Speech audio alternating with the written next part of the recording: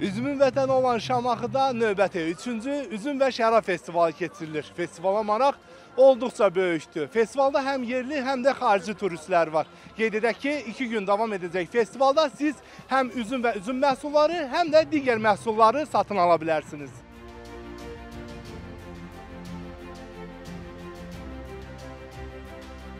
İlk dəfədir ki, Şərab festivalına qatılmışam.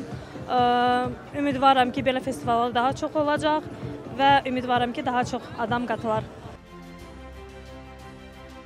Hər şey çox yüksək e, səviyyədə təşkil olunub. Xoşuma gəlməyəcək bir şey deyilən bir şey yoxdur. İki şərab növünə baxdım, çox gözəldir.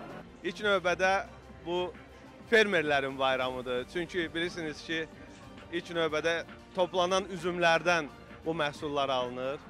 Eyni zamanda istehsalçıların bayramıdır.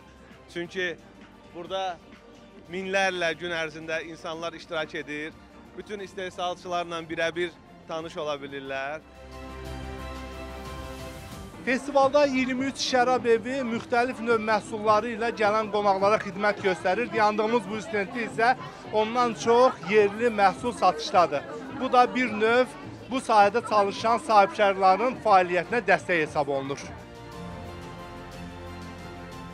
Şamaxının seçilməsi heç də təsadüfi deyil, çünki Şamaxı Azərbaycanın ən qədim üzümçülük və şərabçılıq məkanlarından biridir və özünə məxsus zəngin bir şərabçılıq ənənəsi var. Festivalın əsas məqsədi yerli şərab istehsalçılarının fəaliyyətini təşviq etmək və bununla da Azərbaycanda şərabçılıq turizminin inkişafına dəstək verməkdir. Artıq üçüncü dəfə keçirilir və insanlar bunun bir ənənə halına aldığını bilirlər.